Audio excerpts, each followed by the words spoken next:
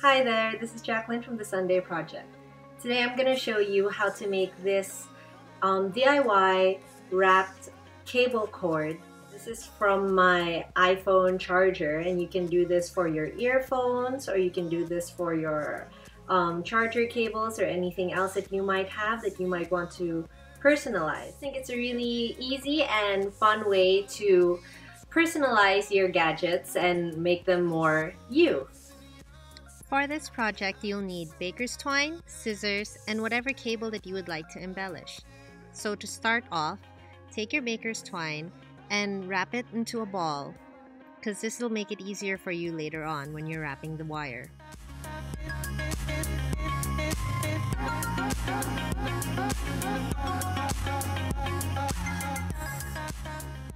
Then you're going to want to tie a knot wherever you want to start wrapping your cable do maybe two or three knots just to make sure that it's really secure.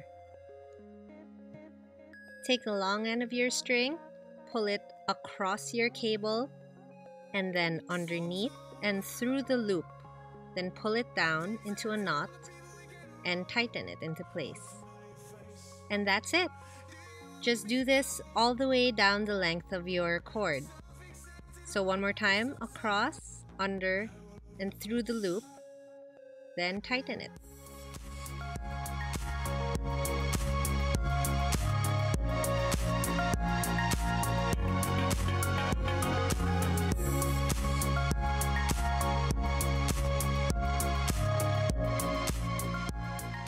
And this is what it looks like up close. So one more time, you go across your cable, underneath, and then through the loop. Then be sure to pull it tight.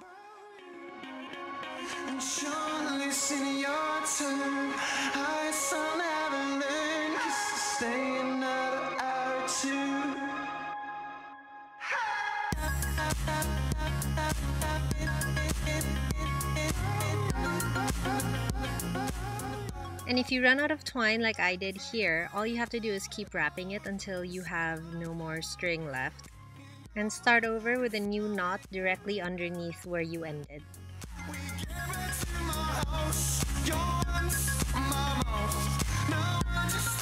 When you've wrapped it all the way down, it's gonna look something like this.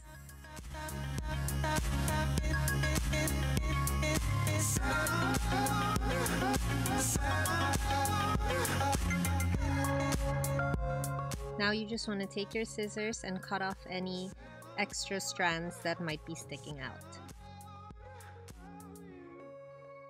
And you're done. I hope you enjoyed this video. Be sure to check out my blog, thesundayproject.net for more DIYs like this.